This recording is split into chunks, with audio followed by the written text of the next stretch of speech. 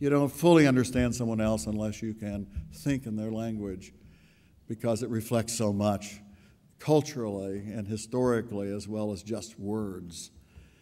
You can't adequately translate the aspirations of other people really into a language other than their own. It's not ever quite as effective.